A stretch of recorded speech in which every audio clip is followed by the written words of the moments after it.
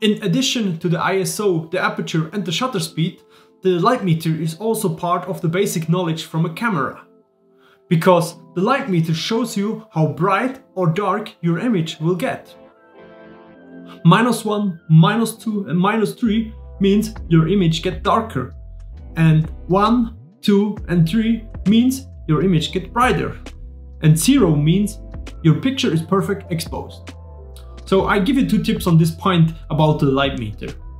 First, if you edit your pictures later, then try to shoot a little bit darker, between 0 and minus 1.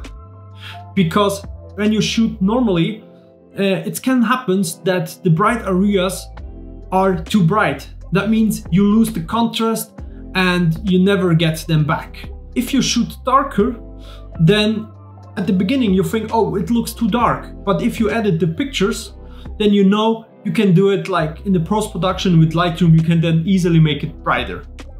And the second tip, if you set your camera to S, R, P or automatic mode, you can decide with the light meter how dark or bright your image will get. And go to the settings to your light meter, choose minus one, and so you are sure that you are exposed to pictures right. So this is it for this quick tutorial about the light meter. If you want to see the full basic tutorial about photography, click on that video. I say thank you for watching and have fun. Bye guys.